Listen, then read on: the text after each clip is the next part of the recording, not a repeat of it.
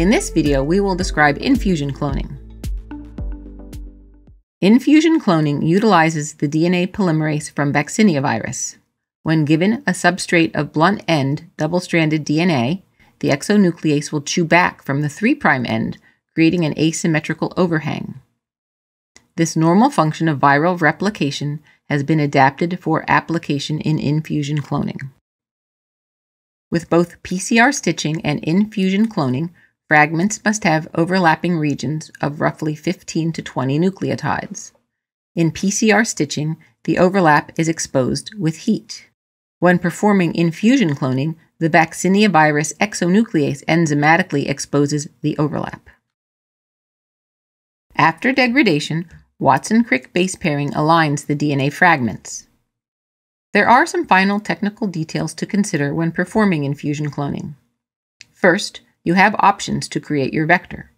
You can either use inverse PCR or restriction digestion.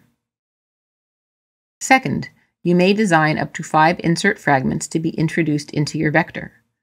This is accomplished by designing overlaps into the PCR primers so that the multiple fragments will align after treatment with infusion enzyme. Infusion cloning was the first commercial product to offer seamless or scarless cloning. Further, the very nature of the infusion mechanism means that the ligation of fragments is no longer dependent on the DNA sequence. Like all cloning techniques which incorporate PCR products, you need to verify your candidate clones at the nucleotide level due to the various mutation rates of PCR enzymes.